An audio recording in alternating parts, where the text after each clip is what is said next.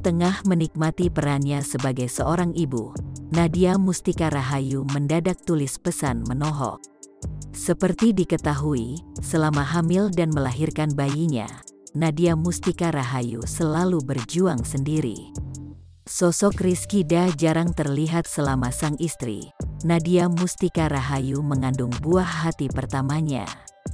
Nadia Mustika baru-baru ini menumpahkan isi hatinya.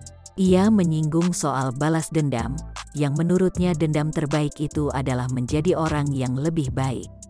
Balas dendam terbaik adalah menjadikan dirimu lebih baik, tulis Nadia, dikutip dari tribunsolo.com. Bayinya kini tumbuh tampan hingga dipuji netizen. Nadia Mustika singgung soal balas dendam.